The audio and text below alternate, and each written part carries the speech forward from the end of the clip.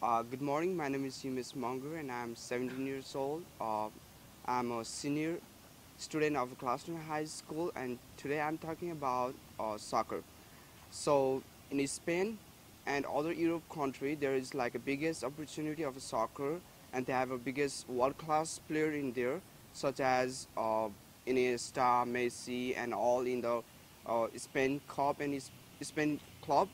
But in, as you see in USA, there does not have a biggest opportunity as it have in other Europe countries. So uh, I want our Mr. President, uh, Barack Obama, to build more uh, stadium and uh, build opportunity for soccer players, soccer youth player in the United States of America. Thank you very much.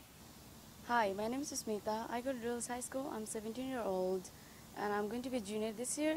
And today I'm going to talk about right. Like in my, I'm from Nepal.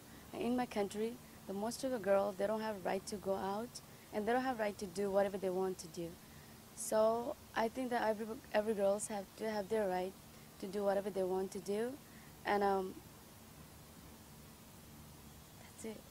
Hello, my name is Fernando Flores. Uh, that is F-E-R-N-A-N-D-O-F-L-O-R-E-S, and I am currently a senior at Cross Keys High School.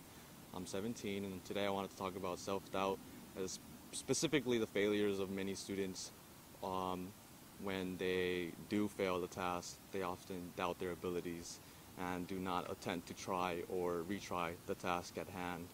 Um, I feel this is really important since um, they miss out on many opportunities uh, specifically scholarships, I have many friends that did not um, get the scholarships or the grants that they wanted to um, kind of enter the school that they need. And because of this, they kind of doubt their abilities and often tend to tend to aim for lower things when they have the necessary skills and tasks that they need for better things.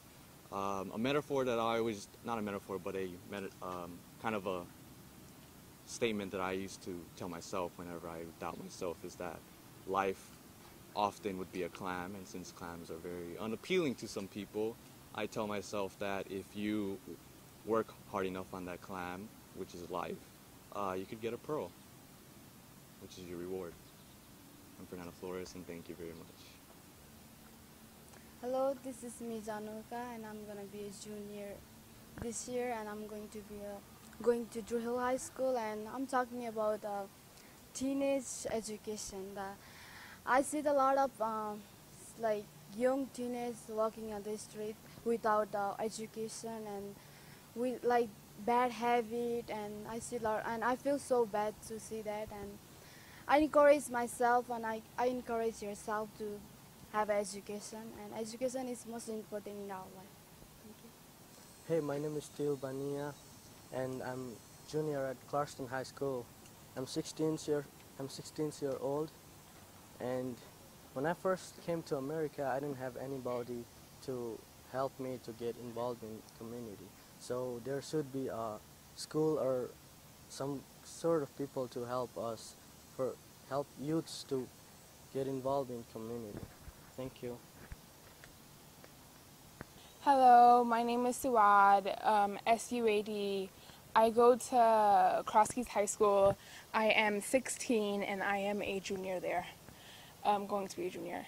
Um, I like to, I feel like teenagers um, make excuses for not being leaders.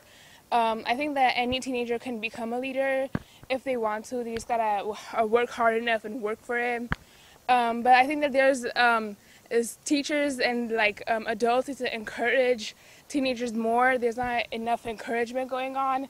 So I feel like that's why teenagers feel like they don't have any opportunities to speak up, speak their voice, and become leaders.